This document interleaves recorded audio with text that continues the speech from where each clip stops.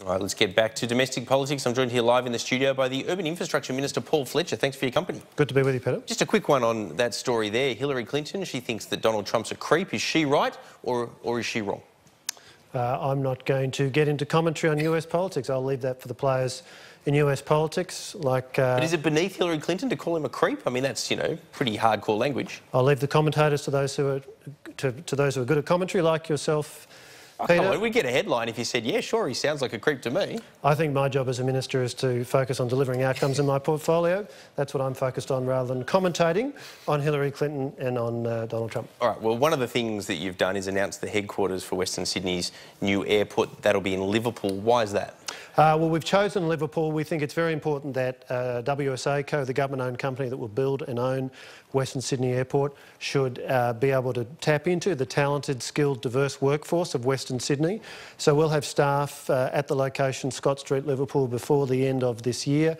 We expect that uh, when the uh, the procurement work, the contracts are fully underway, the construction work's fully underway. There could be up to 200 people working there as well as we imagine. Why do you get to choose the site and not the private operators? Uh, well, this is uh, something that we've got uh, a decision the government's taken.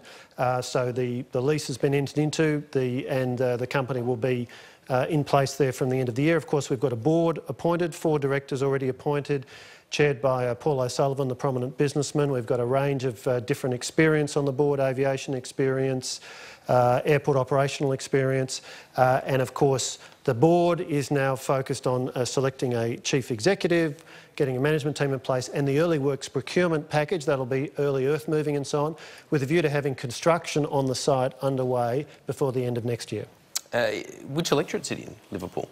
Uh, the elect uh, Liverpool is uh, between uh, Werriwa and I think it's uh, Fowler. So it doesn't sound like you've consulted the local member before making the announcement. Uh, what we have done is uh, consulted with Liverpool City Council, uh, and They're I should pleased, I assume. They are, the and I, I, should. Can I say the member for Werriwa, uh, Anne Stanley, is on the forum on Western Sydney Airport, which is our consultative body. Okay. So we've got two uh, uh, federal Labor politicians on that body. We've got two Liberal politicians, one federal, one state. we've got a range of other community members from from all around the place uh, from Luddenham, from the Blue Mountains, uh, many different parts of Western Sydney on the 23-member forum on Western Sydney Airport, which is our consultative body. Second meeting of that next week. But look, today's announcement is really about making the point and demonstrating Western Sydney Airport means jobs, for Western Sydney as well as better aviation services for Western You're Sydney. getting on with your portfolio, you're taking me through some of the details now. Don't you think that that's what Matthias Cormann should do rather than casting these sort of silly phrases like, you know, Bill Shorten is a remnant of East Germany from the Cold War years? I mean, that's a bit of overreach. Matthias gave an excellent speech last night which made the point there is a very stark there? choice. I've read the speech, it's okay. an excellent speech. A very stark choice for Australians uh, between a Liberal Party which is committed to opportunity, to aspiration, to backing Australians who have a go, and a Labor Party under Bill Shorten, which is going far to the left of any Labor Party federally we've seen for a long time in Australia. Yeah, but the comparison... 150 but, but minister, billion of tax. And We're I, such a long way away minister, from the Hawke and Keating years. And I, I'll agree with you about all of that but I won't agree with rhetoric that it's some sort of analogous scenario to East Germany. That's crazy.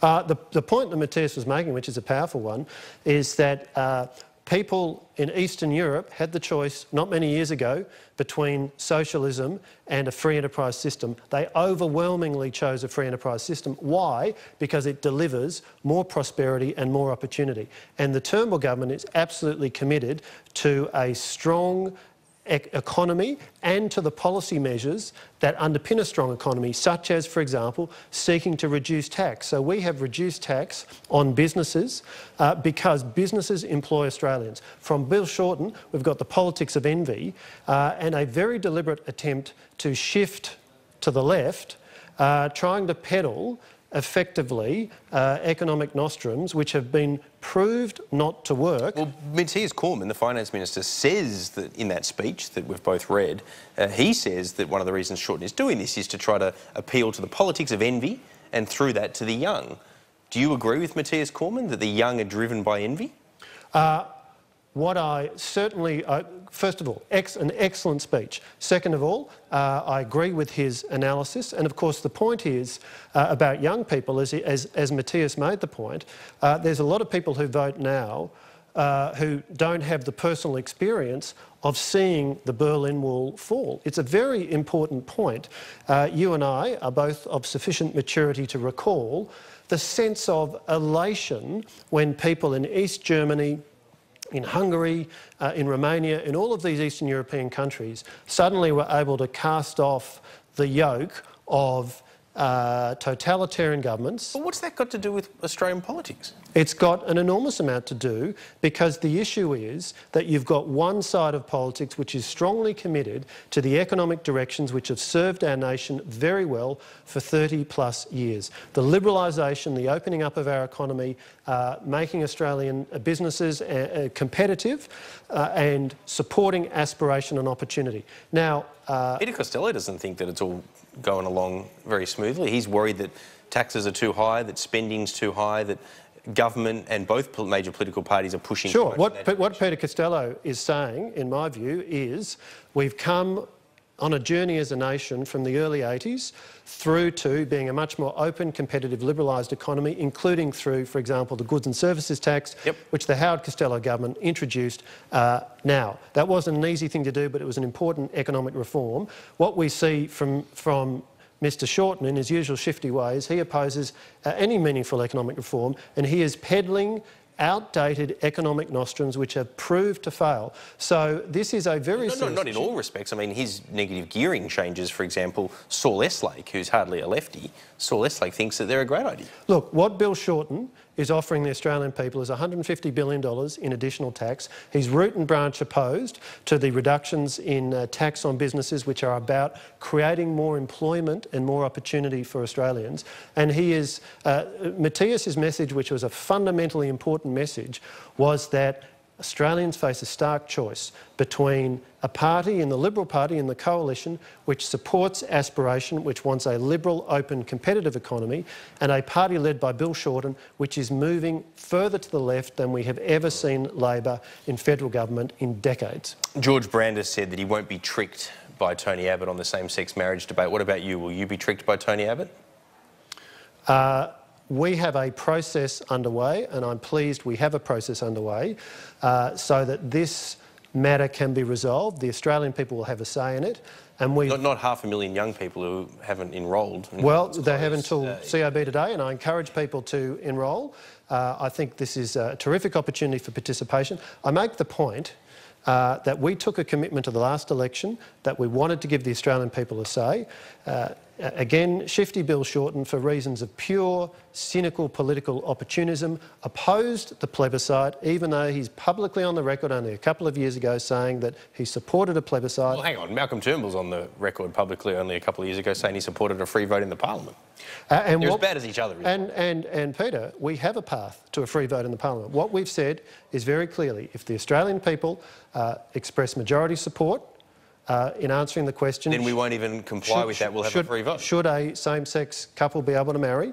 Uh, then then you won't even respect that. You'll have a free vote. Then our commitment is we will have a free vote. That's right. you, have got to see the irony in that. That if the Australian public say they want marriage equality, you won't even give them that. You'll have a free vote. If they say they don't want it, that's the end of the free vote. Uh, I don't think anybody um, seriously questions the proposition uh, that if there is a free vote, uh, then given the Labor Party's stated position and given the, mm. the stated positions of a number of Liberal uh, MPs and national MPs, uh, that the if the Australian people support that outcome, then it will be reflected in the parliamentary vote. Just very, very quickly, uh, the religious freedoms mm. debate. Mm. which a lot of Conservatives are concerned about, mm. Uh, rightly or wrongly. Mm. Do you think that will hold up the transition to the implementation of same-sex marriage if the yes vote is successful? Look, the religious freedoms issue is clearly an important one. It's important that there are appropriate safeguards in the legislation so that uh, uh, people, marriage celebrants uh, in, within uh, denominations uh, can give effect to their own principles if they uh, choose not to solemnise a particular marriage because it's inconsistent with their religious beliefs. They should have that freedom. Now, uh, a private members bill introduced, or the private members bill that Dean Smith has brought forward contains safeguards for religious freedoms. What I can say to you is this: if, Austra if you're an Australian concerned about religious freedom, and there are many people who are, quite properly, uh, then uh, it's very important that this is a process that goes through under a coalition government because you can't rely on shifty Bill Shorten on this issue, I tell you. Paul Fletcher, appreciate your time. Thank you.